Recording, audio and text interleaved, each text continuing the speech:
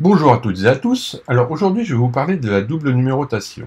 Alors, dans une précédente vidéo, j'avais expliqué comment insérer une marque euh, de numérotation de la page active. Là, je vais vous expliquer et vous donner l'astuce pour que si vous ajoutez un numéro de page suivant et un numéro de page précédent, ça fonctionne. Alors, c'est parti. Alors, on vient sur le gabarit. Ici, j'ai des documents, des doubles pages. Je viens sur mon gabarit. Je vais ici. Faire un bloc de texte. Je vais venir insérer un caractère spécial qui est une marque numéro de la page active. Je vais agrandir pour que ce soit bien visible pour l'exemple. Voilà, c'est grand. Et je viens sur ma page. Ok, j'ai bien ma page active. Je vais voir la même chose, donc je vais appuyer sur Alt, glisser majuscule pour rester au même endroit, je me mets sur la page de droite, je viens ici, impeccable, 2, 3. Moi, ce que je veux, c'est qu'en ajoutant le séparateur, ici se trouve le numéro de la page suivante. Donc, texte, insérer un caractère spécial, une marque, numéro de page suivant. Impeccable, parfait. Problème, voilà. InDesign ne fait pas l'implémentation et la synchro. Ce qu'on va être obligé, de, faire, c'est on prend le texte, on va prendre l'outil, euh, là, on venir sur le bloc, on va cliquer ici pour créer un nouveau tout petit bloc dans lequel aucun texte pourra rentrer. on fait juste ça, et on a lié les deux blocs.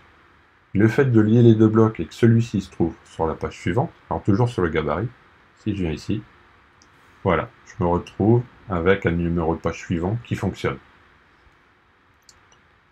Si je veux faire la même chose ici, donc ici j'ai le numéro de page active, donc je vais mettre un séparateur, et juste devant, je vais mettre, alors, texte, caractère spécial, une marque, du numéro de page précédent. Petit espace, Bien évidemment, vous en doutez, si je viens ici, on reste pareil. Alors, ce que je vais faire, c'est que ici, je vais créer, alors je suis bien sur, je vérifie bien sur mon gabarit, tout petit texte, voilà, tout petit bloc de texte. Et ce bloc de texte, je vais venir le chaîner avec celui-ci. Donc je clique ici sur le petit carré blanc qui est au milieu, et je viens sur mon bloc de texte jusqu'à apercevoir les deux petits maillons.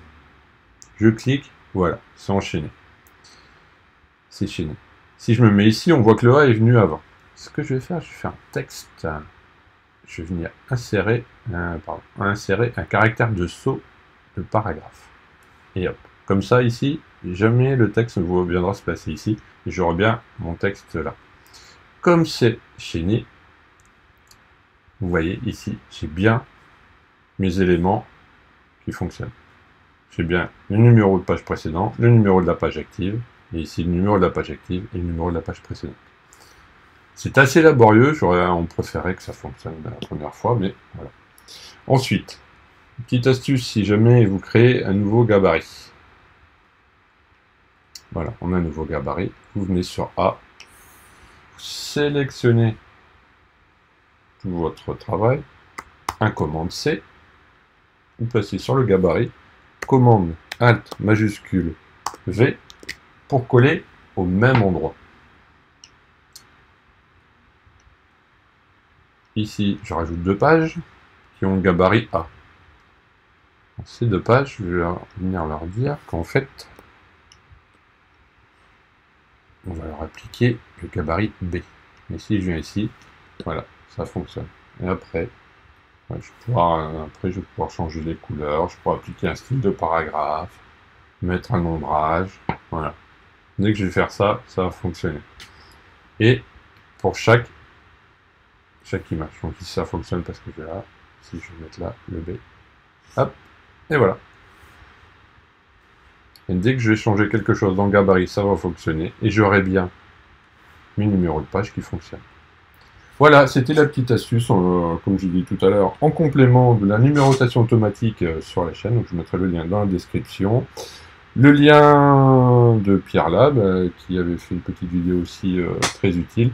Et voilà, c'est une idée qui m'est revenue en discutant et je ne savais plus comment on faisait et j'aimerais vous le partager pour que vous puissiez arriver à vos fins.